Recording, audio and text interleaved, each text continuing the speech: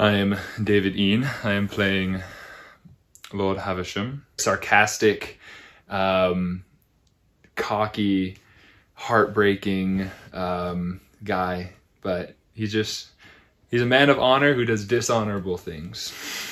I initially cast as Perot, my my villain in my first scene, but then um, I just did so great that they just promoted me immediately.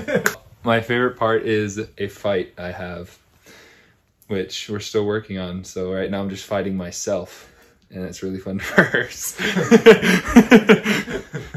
and it is their journey, my journey to resolve the curse and to bring balance to the force. it's a lot of fun because it is through film and I've done a lot with theater and with film on the production side. So it'll be fun to um, perform because doing things on location always brings out a different energy. My favorite one is the one I know the best. after right after you meet Lord Haversham, it's the first time you truly see his his um, his inside, I, inside of his hard shell. He emerges from the turtle shell. I have a heart.